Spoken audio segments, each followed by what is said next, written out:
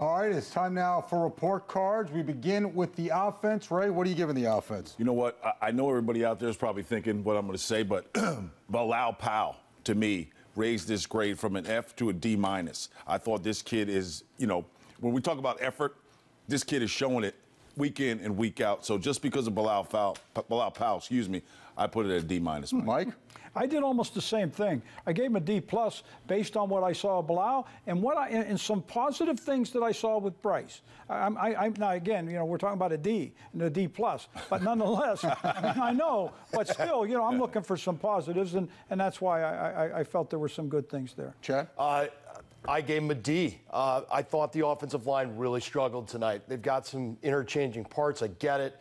It's, that's still no excuse. This is the NFL. A lot of drop balls, a lot of, a lot of hit, a lot of guys getting hit in the hands. What's going on? There's like five or six of these. And I, although I thought Bryce looked good, he was, you know, he's a three-game rookie, if you will. So at the end of the day, this is a D for me. All right, let's get to the defense. Chad, what grade do you give the defense? Same thing, D. Although the D line, I thought, did a decent job of stopping the run, the, the passing game was just abysmal. And when you let a guy like Moore throw for four touchdowns, that's insane, especially when you do have talent back there. It's not like you don't know what you're doing, but sometimes they don't play their technique. And so you see these big busts in the in the backfield. So look, this is a D for me. Mike? I gave him a D. Also, uh, I, I, loved some of the hitting early. I, I, was really impressed. Leonard Williams jumps off the page at me. He just jumps off. Pro I watch him. I, yeah. Every time I turn Pro around, ball. he just looks like an all-star. Put him and at I corner. agree. But the mental errors, the broken coverages, where they have those, that's really discouraging.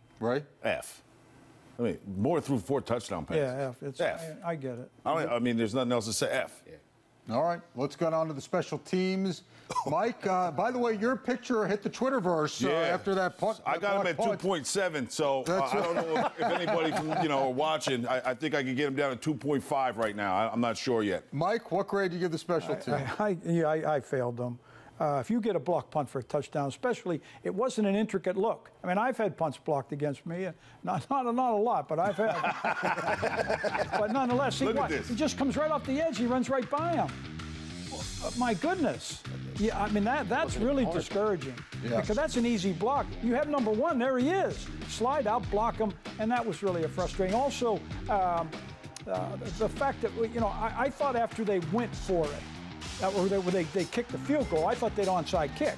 And if they had all the guys up on the line, well, they kicked it deep. Don't kick the ball in the end zone. And they were just as dumb to run it out. So I thought that was a strategical error. They really misplayed that. That's a shame. So I, I failed them. Yeah, I gave them a failing grade too, and I'll add on to that too. The when they squib kicked it toward the end of the, uh, the second quarter, went with about 40 seconds oh, left, gosh. and they returned it almost all the way up to the 40 yard line. I was wondering, what are they doing? That's a chance for them to go down. That's just another mental error, or just, uh, I don't understand why they do some of these things. So for me, along with that, along the block punt, it's an F. Right. well, F. Had a feeling you might say that. All right, let's move on to coaching. Uh, Mike, what are you giving the coaching? I give them a D. There were some good, solid things. I like the way they came out early. And I like the aggressiveness. Todd took a lot of the blame on himself. I think I agree. He fell on the sword. A lot of it's got to go to the players. But the players didn't make the decision to call the timeout after, after a challenge. After a challenge. They didn't make the decision to, to kick the ball with a squib right before half. They didn't make the decision to not go for the touchdown, to kick the field goal, and then come back and not onside kick, or yeah. not only then to not kick the ball in the end zone. So, and also challenge on a time when you have no way you're ever going to get that one. So those things do go on the coach. Ray? I give him an F. I, I mean, fourth and one, I love the call. You're going for it. Then you get you call timeout after the challenge, but then you get in the shotgun. Oh, I, so instead of fourth and I one, agree. it's fourth and six. And then everything that Mike said is the same thing. I feel the same way. F. Chad. You know what? I, I gave him a D. Um, this comes down to sometimes it does come down to talent, sometimes it's effort, and then sometimes it comes down to coaching. And I just feel like there's always this miscommunication issue that seems to come up week in and week out. Well, if that's the case, then perhaps you're not covering it enough in practice, or maybe you're not explaining it properly, because this can't be that hard to have this many communication issues. And it's not just the DBs, it's not just the old linemen, it's not just you know other areas of the team. It always seems to be this communication. You hear this every single week from these players who we interview. So in my mind, it's a D effort on the coaching.